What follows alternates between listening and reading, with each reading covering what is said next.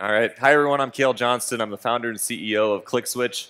ClickSwitch was founded in 2014 to help customers switch their bank accounts.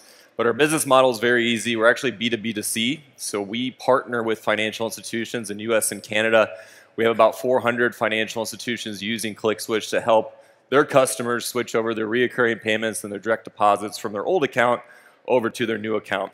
A process that once took 60 to 90 days for a customer to switch over can now take about 5 to 10 minutes with what we're going to show you here today. So there's three easy steps which Adam's going to go through. First, we need your customer to go in and tell us who pays them to get their direct deposit switched.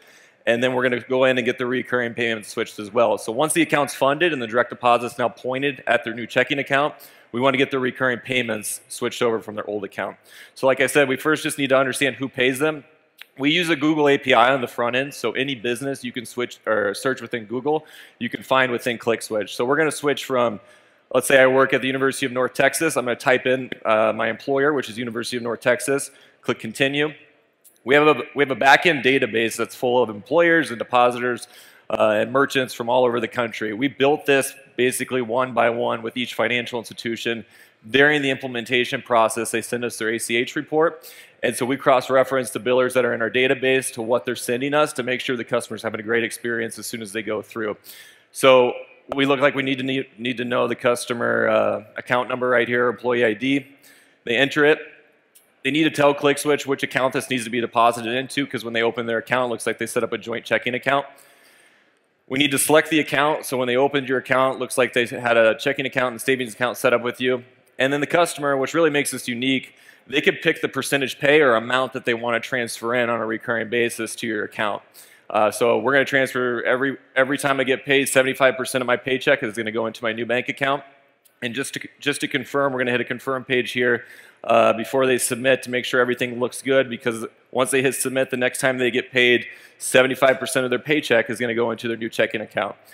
So we just set that up. The direct deposit switch is on the way. Again, now that that's funded, we need to get the payments switched over from their old account to their new account. We're using account aggregation on the front end here. So the, the, the customer simply tells us who is their old bank that they want to switch away from. Uh, they type in ClickSwitch Credit Union, just do something standard here.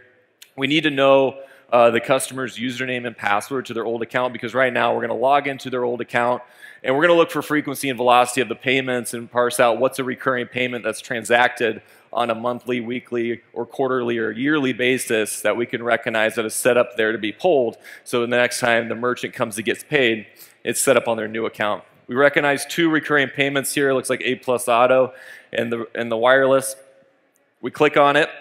And now we're just going to go through. So it again, it's a conversational API that you're getting right here. So it's pinging our database, and we know what A plus Auto needs in order to get this payment set up.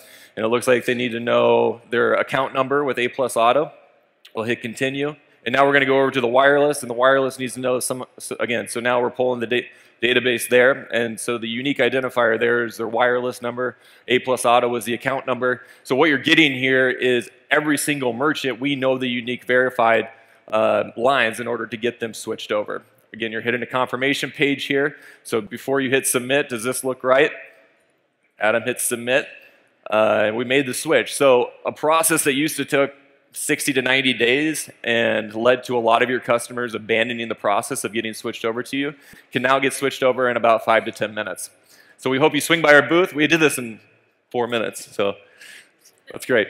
Uh, we're, we're, in the back corner over there. I hope you swing by your booth. You can also go to clickswitch.com, request a demo. Uh, we can go more in depth over this, uh, but we hope you found this enjoyable, and thank you very much.